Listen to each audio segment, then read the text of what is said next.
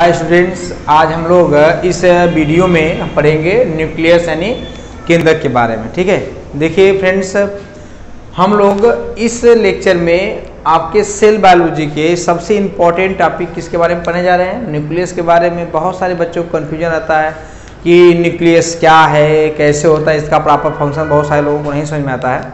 तो हम लोग आज इस न्यूक्लियस के बारे में क्या करेंगे? स्टडी करेंगे। देखिए न्यूक्लियस की डिस्कवरी किसने की है? रॉबर्ट ब्राउन ने। किसने की है? रॉबर्ट ब्राउन नामक साइंटिस्ट ने किसमें किया था? 1831 यानी 1831 नामक ईस्वी में क्या किया गया था? इसको डिस्कवर किया गया था न्यूक्लियस को, ठीक है?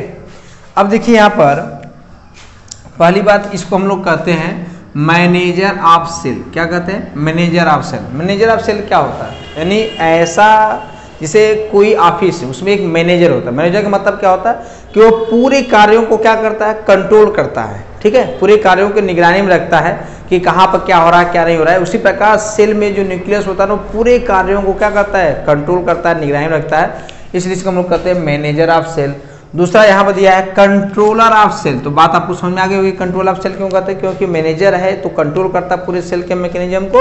इसलिए इसको हम लोग कहते हैं कंट्रोलर ऑफ़ सेल कहते हैं। ठीक है? अगला पॉइंट है, देखिए यहाँ पर जेनेटिक इन्फॉर्मेशन मतलब न्यूक्लियस जो है ना, वह सेल में सेल के अंदर जो न्यूक्लियस है ना, वह क्या करता है? अपने अंदर जेनेटिक इन्फॉर्मेशन रखता है। क्या रखता है? जेनेटिक इन्फॉर्मेशन किसके फॉर्म में जेनेटिक इन्फॉर्मेशन रखेगा? रखता है क्रोमैटिन थ्रेड, या कर लीजिए डीएनए के फॉर्म में। किसके फॉर्म रखता है? डीएनए के फॉर्म में क्या करता है? जेनेटिक इन्फॉर्मेशन क्या करता है? अपने अंदर रखता है। तो यह देखिएगा कि जो सेल में जेनेटिक इन्फॉर्मेशन अपने अंदर कैरी करने का काम कौन करता है? वो करता है न्यूक्लियस कौन करता है? न्यूक्लियस देखिए सेल के अंदर दो ऑर्गेनेल्स और है, क्लोरोप्लास्ट और माइटोकॉन्ड्रिया। ये दोनों भी जेनेटिक मटेरियल को अपने अंदर कैरी करते हैं। लेकिन यह किसी भी ऑर्गेनिज्म के करेक्टर में, के इंटरफेरेंस में ज़्यादा रोल प्ले करते नहीं इसलिए उसको हम लोग कंसीडर नहीं करते हैं। लेकिन जो न्यूक्लियस होता है, वो ज़्यादा अमाउंट में क्या करता है? जेनेटिक मटेरियल को कैरी करता है। इसलिए ज़्यादा इन्फॉर्मेशन जेनेटिक इन्फॉर्मेशन ये कैरी करता है। इसलिए हम इसको कहते हैं कि जेनेटिक इन्फॉर्मेशन को क्या करता है? कैरी करता है, लेकर जाता है। अगला पॉइंट है nucleus present in centre in animal cell यानी जब बात हम किसी एनिमल सेल की करते हैं तो न्यूक्लियस कहाँ प्रेजेंट होता है? सेल के सेंटर में प्रेजेंट होता है। लेकिन जब हम बात करते हैं किसी प्लांट सेल की तो प्लांट सेल में जो न्यूक्लियस होता है, वह किसी किनारे की तरफ़ होता है। ऐसा क्यों होता है? इसका बहुत ही सिंपल सा आंसर है। देखिए एनिमल सेल में जो न्यूक्लियस होता है, वो सेंटर में क्यों होता है? क्योंकि यहाँ पर जो वैक्यूल पाया जाता है ना क्या पाता है? वैक्यूल। वैक्यूल यानी रिक्तिका कहते हैं। ये जो वैक्यूल पाया जाता है, यह छोटे छोटे होते हैं एनिमल सेल में, ठीक है? जिससे क्या होता है कि न्यूक्लियस सेंटर में बना रहता है। But in case of plant cell vacuoles are larger in size vacuole क्या होता है? साइज़ में कैसा होता है? लार्जर होता है। और इसके कारण न्यूक्लियस कहाँ होता है? किसी किनारे की तरफ़ क्या होता है? खिसक जाता है। इसलिए periphery इनफेरी in plant cell due to vacuole ठीक है? और यहाँ पर क्या है? न्यूक्लियस प्रेजेंट है कहाँ? सेंटर में in the animal cell clear हो गया आपको? अब देखिए, हम लोग पढ़ेंगे इस वीडियो में और क्या? स्ट्रक्चर ऑफ़ न्यूक्लियस कि न्यूक्लियस का स्ट्रक्चर क्या है? तो देखिए न्यूक्लियस के स्ट्रक्चर जब हम लोग पढ़ते हैं तो न्यूक्लियस के स्ट्रक्चर को चार भागों में बांटा जाता है।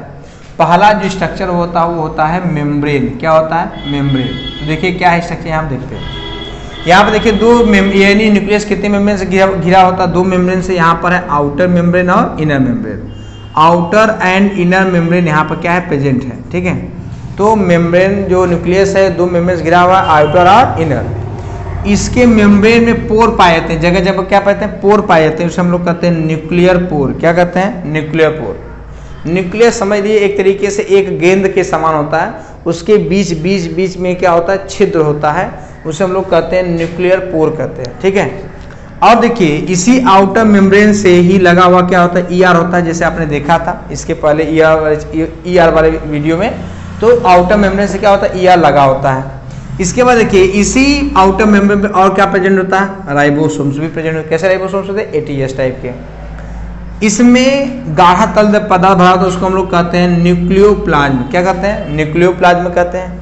धागे जैसी संरचना को हम लोग क्या कहते हैं? क्रोमैटिन थ्रेड कहते हैं। और इसके अंदर एक छोटा सा और न्यूक्लियस होता है, उसे हम लोग कहते हैं न्यूक्लियोलस या उसे हम लोग कहते हैं स्मॉल न्यूक्लियस कहते हैं। क्लियर एक बार फिर समझ लेते हैं। कि न्यूक्लियर स्ट्रक्चर कैसा है? कितने मेम्ब्रेन से घिरा हुआ? दो आउटर और इनर मेम्ब्रेन द्वारा। इसमें मेम्ब्रेन में पोर पाए तो उसे कहते हैं न्यूक्लियर पोर आउटर मेम्ब्रेन में और क्या लगा होता है? ईआर इसके साथ साथ क्या लगा होता है? राइबोसोम कैसा? अस्सी प्रकार के। इसमें जो गाढ़ा तल है उसको क्या कहते हैं? न्यूक्लियोप्लाज्म कहते हैं, धागे से कहते हैं क्रोमेटिन थ्रेड और इसमें एक और न्यूक्लियस होता है, छोटा न्यूक्लियस होता है, जिसे हम स्मॉल न्यूक्लियस कहते हैं या उसको हम लोग कहते हैं न्यूक्लियोलस कहते हैं। क्या कहते हैं? न्यूक्लियोलस ठीक? अब एक एक के बारे में हम लोग थोड़ा थोड़ा जान लेते हैं। देखिए न्यूक्लियर पोर क्या है? न्यूक्लियर पोर का मतलब इस तरह समझिए कि जब कोई भी पदार्थ सेल से न्यूक्लियस में जाता है, ये रहा सेल सेल से जैसे ही कोई पदार्थ न्यूक्लियस में जाएगा या फिर कोई पदार्थ न्यूक्लियस से कहाँ आता है? सेल के साइटोप्लाज्म में आता है। तो किसके थ्रू होकर आता है? न्यूक्लियर पोर की तरह के द्वारा होकर आता है। ठीक है? तो ये, ये आपको समझ में आएगा न्यूक्लियर पोर क्या है? क्रोमेटिन थ्रेड क्या है? तो याद रखिएगा क्रोमेटिन थ्रेड और डीएनए में ज़्यादा अंतर होता नहीं है। जो डीएनए होता है वो डीएनए होता है सिर्फ़ डीएनए होता है। और जो जो इसकी बात हो रही है क्रोमेटिन थ्रेड की तो क्रोमेटिन थ्रेड में दो पार्ट होता है। पहला होता है डीएनए और डीएनए के साथ होता है हिस्टोन प्रोटीन। तो अगर डीएनए के साथ हिस्टोन प्रोटीन भी आ जाए तो ऐसे धागों को हम लोग क्या कहते हैं? क्रोमेटिन थ्रेड कहते हैं। अगर डीएनए के साथ हिस्टोन प्रोटीन भी आ जाए तो ऐसे धागों क्या कहते हैं? क्रोमेटिन थ्रेड कहते हैं। इसके बाद देखिए यहाँ पर आपका ये रहा न्यूक्लियस। यानी न्यूक्लियस के अंदर एक और छोटा सा न्यूक्लियस स्ट्रक्चर पाया जाता है।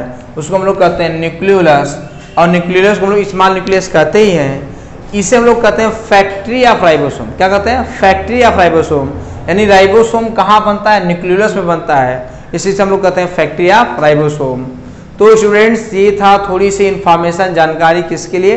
न्यूक्लियस के लिए। हम लोग इसके नेक्स्ट वाले वीडियो में न्यूक्लियस के एक एक पार्ट के बारे में डिटेल से स्टडी करेंगे कि न्यूक्लियर मेम्ब्रेन कैसा होता है न्यूक्लियोलस कैसा होता है निक्रोमेटिन थ्रेड कैसा होता है डीएनए क्या होता है, ये सब हम लोग इसके नेक्स्ट वाले लेक्चर में स्टडी करेंगे। तो इतनी जानकारी अपने पास रखिए। इसके अगले वाले लेक्चर में हम लोग न्यूक्लियस के बारे में और डिटेल से पढ़ेंगे। ठीक है? तो वीडियो को ज़्यादा सब्सक्राइब करिए लाइक करिए शेयर करिए और वीडियो आपको कैसा लगा कमेंट